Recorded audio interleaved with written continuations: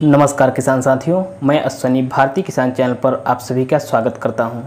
किसान साथियों, आज की वीडियो में हम बात करेंगे श्री राम कंपनी के गेहूँ श्री राम सुपर 303 के बारे में। किसान साथियों, यह किस्म बहुत ही ज़्यादा फ़ेमस है और इसका बहुत ही अच्छा उत्पादन मिल रहा है। खास करके यह किस्म मध्य प्रदेश, उत्तर प्रदेश, पंजाब, हरियाणा, बिहार, राजस्थान के लिए यह प्रजाति बहुत ही अच्छी मानी जाती है।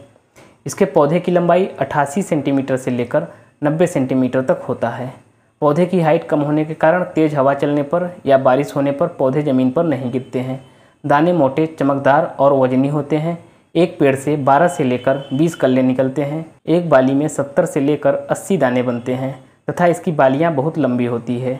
यह भूरा रतुआ के प्रति सहनशील किस्म है। इसकी बुआई अगेती और पछेती दोनों समय में की जा सकती है। अगर हम प्रोडक्शन की बात करें तो इसका प्रोडक्शन 22 से लेकर 30 कुंटल प्रति एकड़ प्राप्त होता है।